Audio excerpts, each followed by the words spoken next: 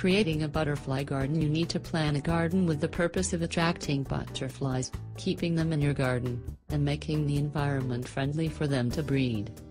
The first thing you need to do is choose several plants that produce nectar for the butterflies and will hopefully provide continuous blooms through the summer. The most important time to have blooms is mid to late summer. This is when most butterflies are most active. Flowers that produce multiple blooms on a single plant. Flowers that produce multiple blooms on a single plant and contain a lot of nectar are best. You probably want to choose a variety of annuals for your garden, because annuals bloom all through the season.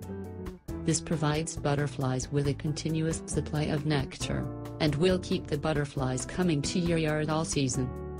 Some perennials are very good for attracting butterflies. Lilac and asters are favorites for butterfly gardens. Coneflowers are a lovely wildflower that butterflies adore. Herbs such as parsley, dill, and mint provide good nectar for butterflies. Can make homemade butterfly feeders from small jars, such as baby food jars. You just drill a hole in the middle of the lid and stuff it with cotton. Then you fill the jar with a mixture of 1 to 9 sugar and water. 1 part sugar and 9 parts water.